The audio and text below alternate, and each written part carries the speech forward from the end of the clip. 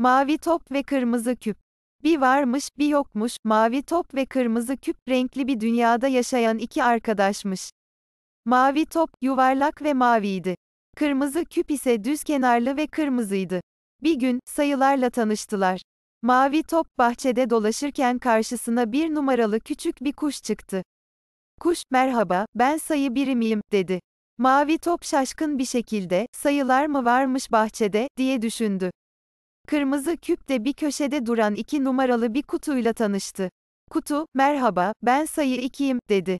Kırmızı küp, iki mi? Ne işe yarar ki, diye sordu. 1 ve 2, mavi top ve kırmızı küpe sayıların dünyasını anlatmaya başladılar. Toplamak, çıkarmak, çarpmak ve bölmek gibi matematik işlemlerini öğrendiler. Mavi top ve kırmızı küp sayılarla oynayarak renkli dünyalarına yeni bir boyut eklediler. Bir gün 3 numaralı bir trenle tanıştılar. Tren, merhaba, ben 3 sayısını temsil ediyorum. Toplamak için harikayım, dedi. Mavi top ve kırmızı küp trenin yanında yürüyerek sayılarla oyunlar oynamaya başladılar. Sayılarla dolu renkli dünyalarında mavi top ve kırmızı küp matematiği öğrenirken eğlenceli zaman geçirdiler.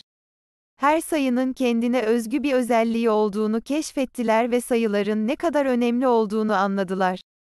Ve masal burada biter. Mavi top ve kırmızı küp sayılarla dolu eğlenceli dünyalarına devam ettiler.